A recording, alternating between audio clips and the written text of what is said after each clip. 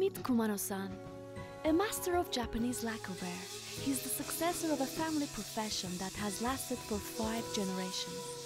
An ancient technique of prolonging the life of wooden craft, Japanese lacquer or urushi highlights the wabi-sabi aesthetics of the simplest utensils.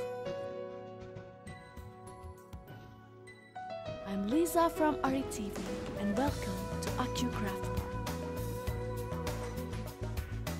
Located at the heart of Akyu Hot Spring Resort area, Akyu Craft Park has kept the local craftsmanship alive for more than 20 years, and you can be a part of this experience by making your own custom crafts, and a pair of urushi chopsticks is one of them. At Kumanodo store, you will find minimalistically elegant tableware and decorative items, but most importantly, the famed Sendai Tansu chests. Skilled carpenter, Kumano-san's father changed the focus of his craft into these gorgeous drawer chests around 40 years ago, against all the challenges that came with the shift. やっぱり木工だからあ家具作るのは得意だったんだけども当然仙台タンスにはその他に鉄金具と漆塗りっていう部分があるんですであのうちの親父っていうのはとても勉強熱心だったんで人の仕事を見ながら自分で漆を塗るようになった、ですからまあ仙台タンスっていうのは本来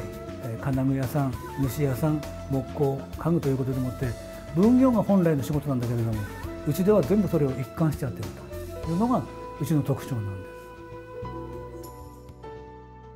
Urushi is extracted from the sap of Chinese lacquer tree, and Urushi lacquerware are one of the most sought after all over the world with their durability and sophistication. But as it is the case with most of the traditional crafts in the 21st century, Urushi too is facing difficulties of survival. まあ、そういったものをですね、えー5500年の歴史があるわけですけれども意外と今皆さんその漆というと、まあ、当然塗るのに手間がかかるしお金もかかるしということでもって、まあ、化学塗料が昨今ではあ流行ってるというのが現状なんですもちろん漆の産地もだんだん少なくなってきましたしの刷毛をですね人間の紙で、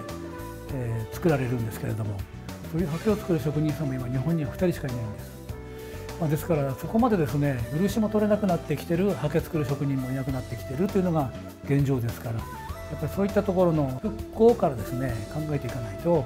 実はその伝統を守るなんていうことは冗談に構えていることではないんです。まあ、ですからまあ